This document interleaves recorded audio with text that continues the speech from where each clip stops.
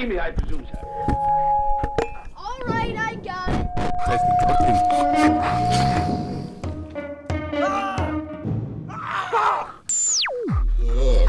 Look, How, how did you get the gig, look, Val? This is how I used to train him in hamburger. look. Val, how did you get the gig on Interstellar, given that it's all set in outer space? Well, Chris Nolan was very interested in putting Roland in a spacesuit. He worked on Wolf, uh, Wolf of Wall Street. He actually did initiate the entire Hunger Games. Jenny Lawrence had a little falling out with him, so uh, we weren't invited back for the second one. He never wants to talk about Vin Diesel again. Vin Diesel used to have a flock of hair until he met Roland, and because of his allergies and everything, it was because of the hair. He used to rub that gel thing in his hair. Roland was allergic to Vin Diesel's hair.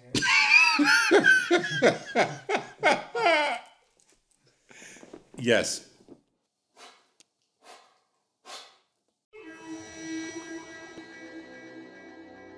This is the frequency.